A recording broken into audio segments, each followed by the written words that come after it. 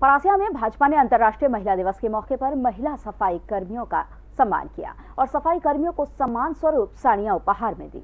महिला दिवस के मौके पर भाजपा कार्यकर्ताओं ने महिला सफ़ाई कर्मियों का सम्मान किया। इस दौरान भाजपा नेताओं ने कहा कि कोरोना काल के दौरान महिला सफ़ाई कर्मियों ने एक योद्धा की तरह कार्य किया है और शहर की सफ़ाई व्यवस्था लगातार बनाए रखी है। हमेशा मुश्किल घड़ी में महिलाओं ने समाज का साथ दिया है। इसीलिए इनसे बढ़कर कोई और नहीं हो सकता।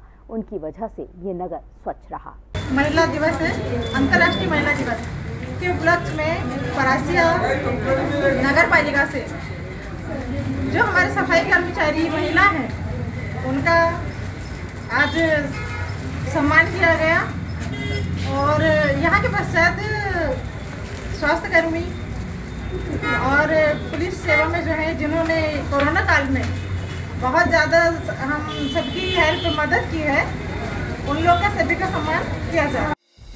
संगीत की स्वर लहरियों से सांस्कृतिक ताने बाने तक चंबल के पीड़ों से नक्सलवादियों के गढ़ तक झोपड़ी से महलों तक ठेलों से मेलों तक पगडंडियों से सड़कों तक गाँव से शहरों तक व्यापार से उद्योगों तक। राजनीति से कूटनीति तक। दखन न्यूज़। आपके हक